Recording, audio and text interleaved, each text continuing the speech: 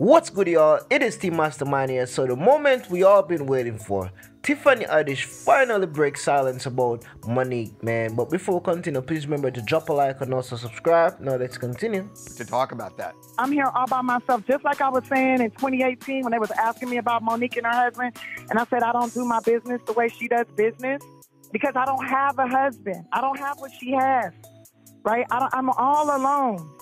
That's what I'm trying to tell you guys. Like I'm doing this all by myself. I'm not. I don't have. I don't have a, a whole family full of men or a man supporting me. I'm doing it on my own. I'm learning on my own.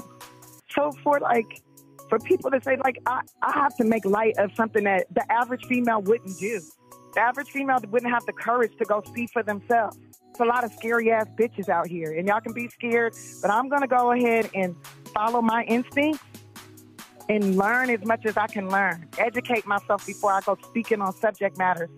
I ain't gonna tell a lie though. When Tiffany Haddish said that she do not have what money has, you know, at first she kind of sounded a little bit jealous. I ain't gonna tell a lie though. If you felt the same way, comment in the comment section. But anyways, I do not want to penetrate on that.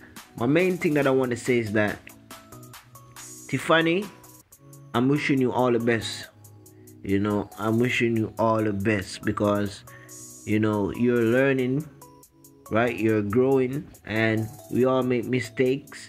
And end of the day it's not about even what anyone else is saying man. It's really about how do you feel about yourself? What do you do in the dark? What do you do when no one is seeing and watching? It's important what do you do when people's watching you know but what do you do when no one is seeing? That's the real deal. That's the real you right? So whatever people are saying on the internet it's cool. They just get a glimpse of your life and they say oh you're a bad or a good person. But you you as a person know whether or not you're a good person. And your conscience your conscience speak to you Sometimes it make you can't sleep.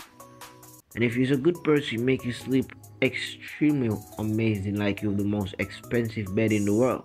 But anyways, I ain't gonna emphasize too much on that. Share your thoughts in the comment section. It is Team Mastermind. Thank you for watching. See y'all later.